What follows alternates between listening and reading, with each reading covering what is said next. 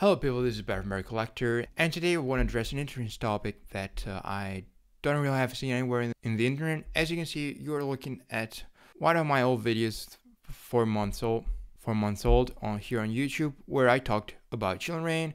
That video did pretty well, and I was basically saying, well, I think it could be time to buy Chilling Reign. Now, this video is not about bragging, even though part of it, you're going to see it is, because as you can see, here it was in 150 and today Chilling Reign is selling for as low as 205 euros in the European Union and about $220 in the US. However, what this video is about is try to address what was Chilling Reign, what was it all about, what were the cards in Chilling Reign, what were the type of pull rates in Chilling Reign, and think, can I see Chilling Reign in some modern set and not be like, I'm not saying all, but many PokeTubers who like, mm, I see this card, this card looks good, this set looks good. It reminds me of this, it reminds me of that, because that's what everyone does, and it's simple. I'm not gonna lie. Sometimes I do it too.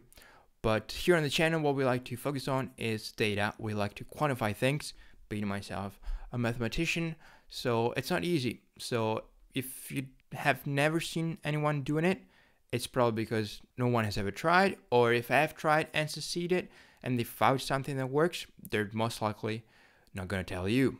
So that doesn't mean I found something that worked, but I want you to reflect, I want you to think about a few things that I'm going to put out in today's video.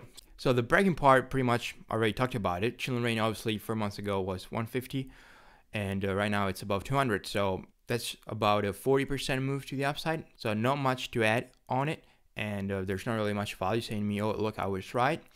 But here's what I wanted to focus on in today's video. So these are the cards within Chilling Reign and their listed price high to low. Now, in Chilling Reign, we have three Alt Art Secret Rares, which are the Alt Art VMAX, that's how they're also referred to, and 10 Alt Arts V that are ultra rares. So, as you probably know already, the Blaziken and the Galarian Moltres, we have the three birds here, Moltres, Zapdos, and Articuno in the Galarian variant, if I, if I can call it that.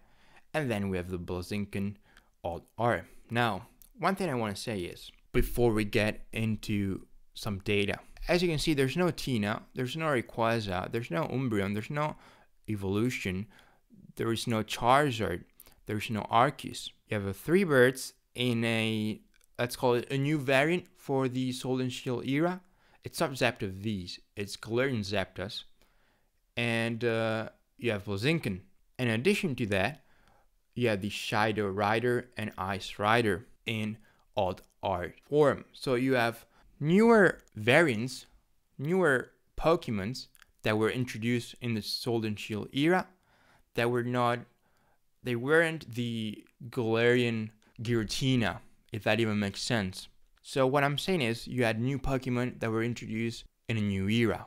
Why am I saying that? Well, does that ring a bell with Temporal Forces?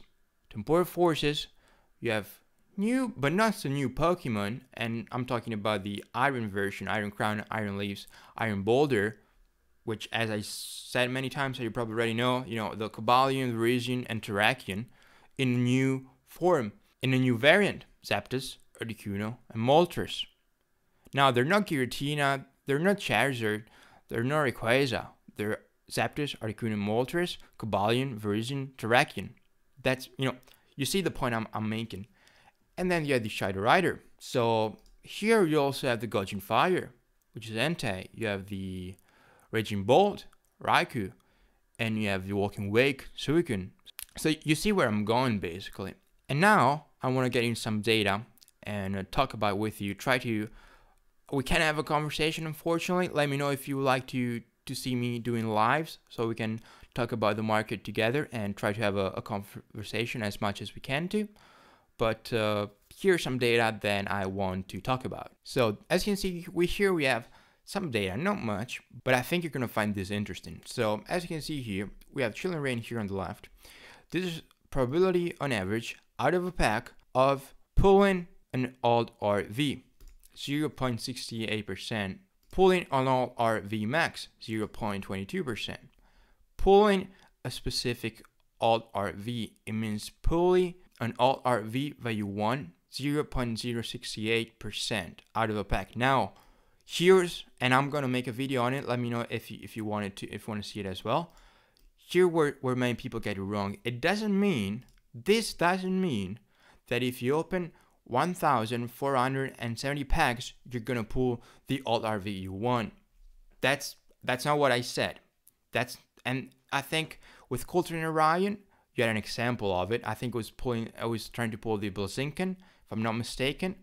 I don't know how many packs you open. I know I I heard you open uh, a lot of them, but this does not mean that if if you open 1,470 packs, you are guaranteed to pull the alt RVU1. That that's what not it means. I don't want to go into this video. If you want to know what would be the math that would apply to that questions, how many packs do I need to open in order to be 100% sure to pull the card I want, then let me know down in the comments. I can make a video on it. And here, the probability of pulling specific in Alt RV Max, 0.073%.